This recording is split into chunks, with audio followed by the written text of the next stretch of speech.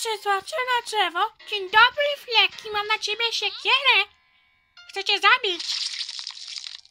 Nie! Nie żyjesz, Fleki! Wypierdalam stąd cię! Mole zabił Flekiego.